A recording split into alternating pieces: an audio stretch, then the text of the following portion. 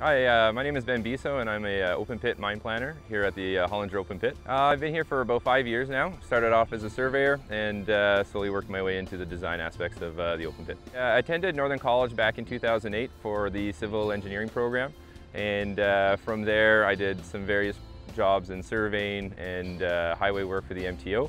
And when this project started up five years ago, I was asked to come and survey, open up the pit, and uh, it was a very exciting project, so I wanted to jump on it.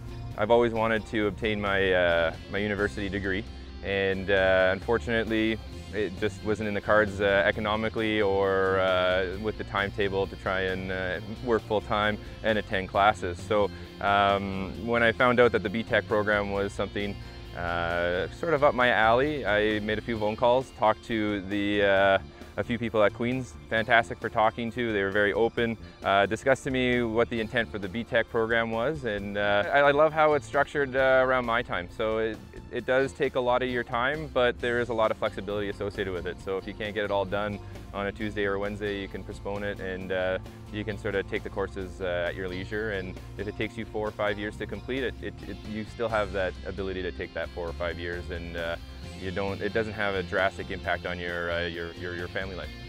It's my intent that it'll help me grow with Goldcorp and uh, get into more uh, senior, senior positions in gold mining.